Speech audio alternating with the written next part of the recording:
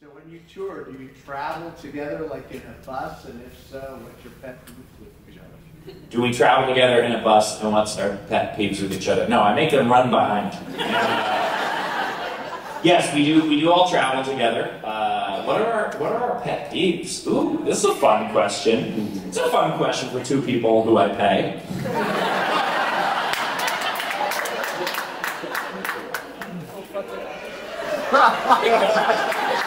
We'll be honest about this. We're, we're mature and we're, we're friends. We know that this is uh, set up in love. A pet peeve with Bander is that uh, it's it's not with you, it's with the disease. Uh, yeah. He can be very spacey sometimes. And so, like recently, when he, he told me, he's like, hey, I just got diagnosed with ADHD. And I was like, yeah. I believe the official chart came out and said, fucking of course.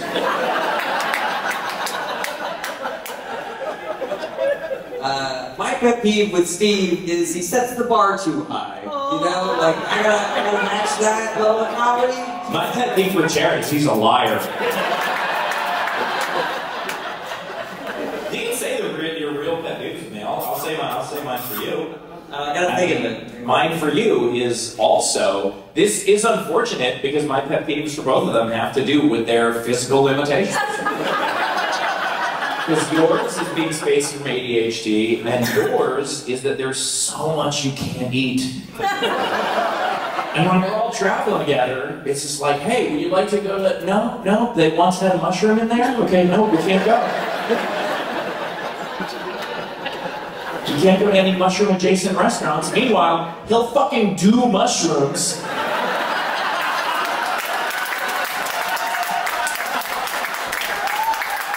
Difference is that it's worth it.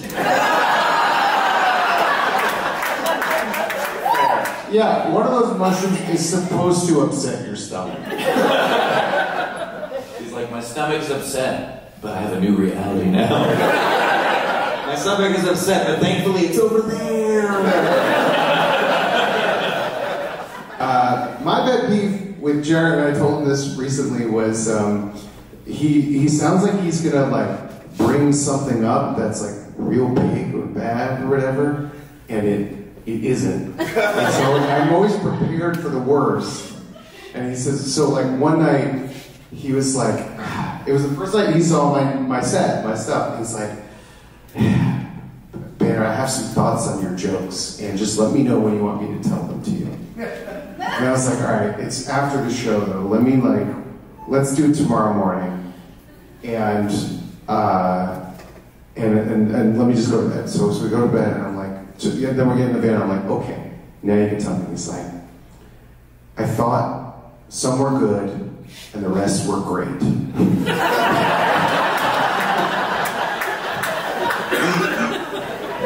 And I was like, like just nervous, sweating, like, I'm like, yeah. And I was like, why did you prepare me for to hear that?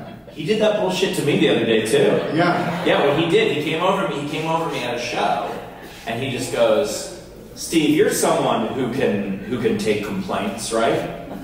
And I was like, yes. And he goes, one of the door guys is pissing me off. And I was like, but the... I had this moment of like, oh fuck, what did I do? And he could have just said that. He could have just been like, one of the door guys is pissing me off. No preamble. I'm sorry I keep stressing you guys out before I say nice things that are. Saying one of the guys pissing off is not a compliment to me, but go ahead. Uh, so I thought of a pet peeve for you, Steve. Okay, go okay, so when comics are working on jokes together, uh, there is a thing that you do called the compliment sandwich, where you know criticism can hurt, and so you say something like, "Oh, I really like that part of the joke," and then you do the criticism where you'd be like, "Are you filming?" Okay. Uh, you do the criticism part where you're like, "Oh, I think you need a different tag there," and then you end it with another compliment. But overall, I think the premise is really good. Is really good. Uh, Steve's sandwich is all criticism. Sometimes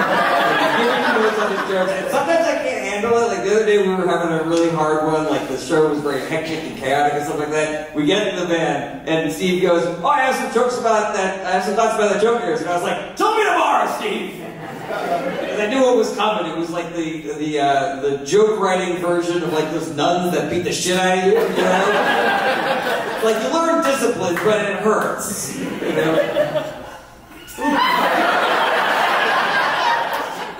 I don't disagree with any of that. I mean, look, write a better joke.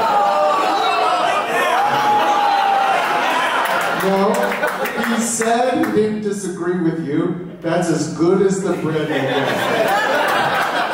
Yeah, I know that your digestive system cannot take anything as sweet as a compliment. So, I'm just trying to make sure your stomach, your tummy's okay. I'm also sensitive to spicy words. Uh, I thought of a pet peeve for Steve, aka a pet Steve. Steve.